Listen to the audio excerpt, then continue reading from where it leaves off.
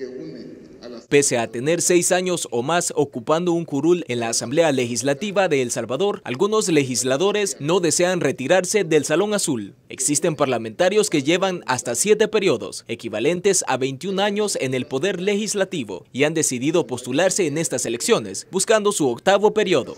Y hay uno que busca su noveno periodo. Se trata de José Antonio Almendaris Rivas, del Partido de Concertación Nacional PCN. Es el único en ese sentido. Los que llevan siete periodos en el Congreso salvadoreño son Carlos Reyes del Partido Arena, Donato Vaquerano del mismo partido, Guillermo Gallegos de Gana y del Partido PCN los diputados Mario Ponce y José Francisco Merino. Alberto Armando Rodríguez de Arena y Rodolfo Parker del PDC tienen cinco periodos. Los que contabilizan cuatro son Margarita Escobar de Arena, Mario Alberto Tenorio de Gana, Guadalupe Vázquez del mismo partido, Juan Carlos Mendoza y Manuel Rigoberto Soto, también pertenecientes a Gana, y Serafín Orantes y Reinaldo Cardosa quienes fungen como diputados bajo la bandera del PCN. Y bajo la bandera de Arena hay cinco diputados que han sido electos tres periodos. Se trata de Edgar Escolán, Julio César Fabián, Orlando Candray, Silvia Estela Ostorga y Lucía Ayala de León y hay uno perteneciente a Ghana. Se trata de Santos Rivas,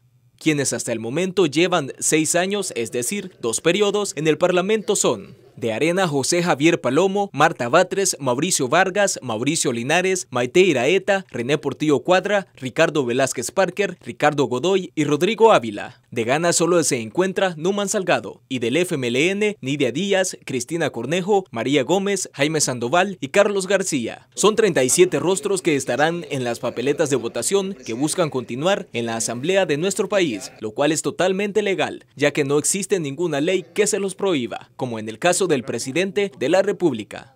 ¿Por qué al presidente no se le permite y a los diputados y a los alcaldes sí? En el caso de los diputados, ¿verdad? la Asamblea Legislativa está dividida en 84 pedacitos, ¿verdad? Entonces, digamos que un diputado no puede tener la capacidad de manipular todo ese órgano, ¿verdad? Entonces, y en el de Estado, y en el caso de los alcaldes, ¿verdad? El país está dividido en 262 pedazos. Los alcaldes no tienen un ejército, no tienen una policía, los diputados tampoco. Entonces el cargo con más poder, un poder tan grande como para poder manipular este, una elección a futuro es el del presidente de la República. Ahora solo dependerá de los salvadoreños la reelección de estas personas. Los ciudadanos tienen el poder de elegir a través del sufragio quienes quieren que los representen en uno de los órganos que conforman el Estado salvadoreño. Informó para la prensa Ricardo Grijalva.